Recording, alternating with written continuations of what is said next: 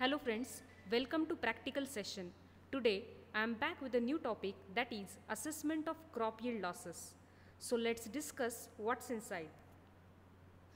First, let's quickly recap the last practical. During last practical, we studied measurement of losses caused due to diseases. Then now, what are the basic terms related to this topic? Then uh, why to study this topic that is need or aim behind it? Then uh, what are different types of crop losses? Then what is mean by AUDPC? What is full form? Then uh, how to calculate expected and actual losses? That is the formulae. And last but not least, that is summary. So regarding basic terms, what is yield?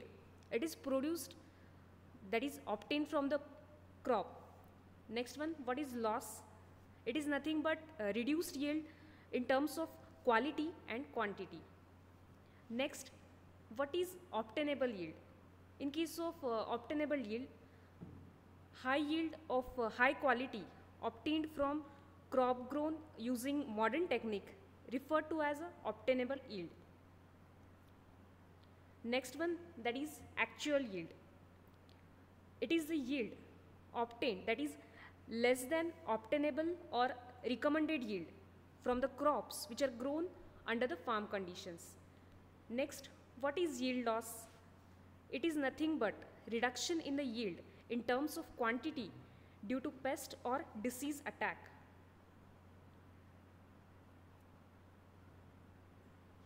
What is its need? For uh, improving the production system that uh, contributes to income of uh, rural families and food security.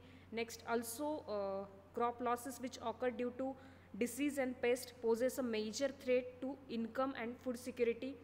Then uh, for improving agroecosystem, it plays a vital role. So what are types of crop losses? Crop losses, these are divided into or classified into two types. That is first one, direct losses, second one, indirect loss. So let's discuss the direct loss. In that it is again divided into two. That is first one, primary losses, second one, secondary losses.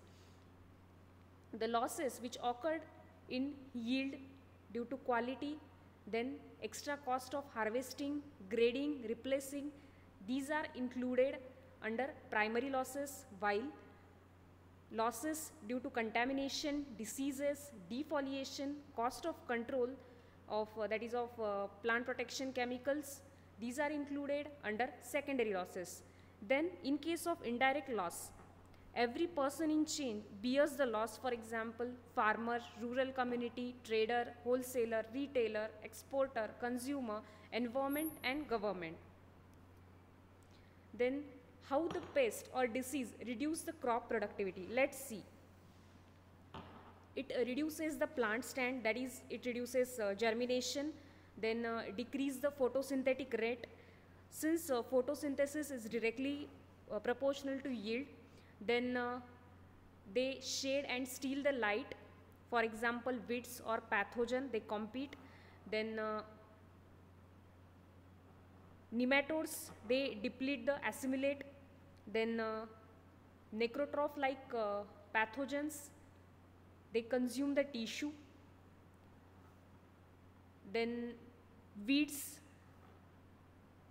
the productivity is uh, reduced by the weeds through competing for the nutrients. So uh, crop losses uh, these are measured in terms of kg per hectare or quintal per hectare. These are again divided into two types that is qualitative losses and quantitative losses. In case of qualitative losses, the overall quality reduction or uh, contamination, these are referred to as qualitative loss while per unit area reduction in the yield is referred to as uh, quantitative loss. So what is AUDPC? AUDPC stands for Area Under the Disease Progress Curve. Uh, it is a quantitative measure of uh, disease intensity with time and uh, it is used to compare the disease resistance among different varieties of plant. If uh, disease is more, then yield loss is more.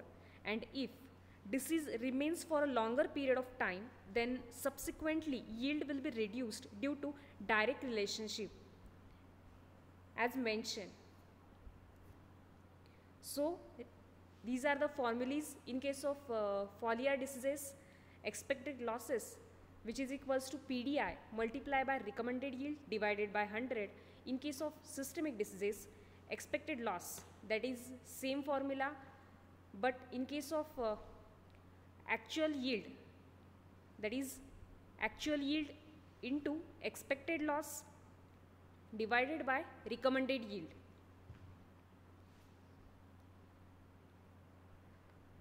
So, at the end of the session, we studied different terms, formulae, need of assessment of crop yield losses. Thank you. Stay tuned.